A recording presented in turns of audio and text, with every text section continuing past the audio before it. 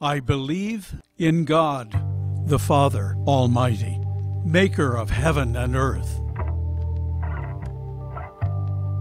and in Jesus Christ, his only begotten Son, our Lord, who was conceived by the Holy Ghost, born of the Virgin Mary, suffered under Pontius Pilate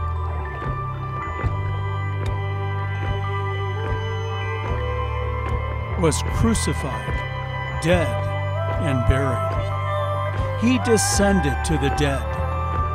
The third day he rose again from the dead. He ascended into heaven and sits at the right hand of God the Father Almighty. From thence he will come to judge the living and the dead. I believe in the Holy Ghost. I believe in the Holy Catholic Church, the communion of saints,